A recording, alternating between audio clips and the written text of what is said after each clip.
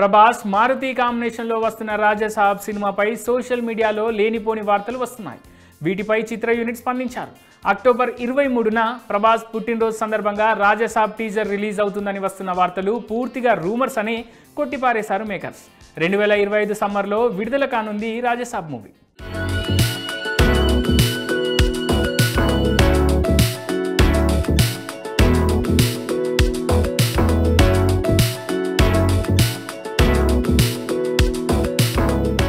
ఆహా ఓటీటీలో Telugu Indian Idol season three ఘనంగా ముగిసింది.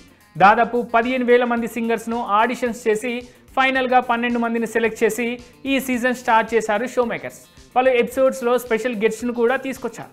తాజాగా మూడో సీజన్ విన్నర్గా నసీరుద్దీన్ నిలిచారు. ఈయన పవన్ కళ్యాణ్ ఓజీలో ఓ పాట కూడా పాడారు.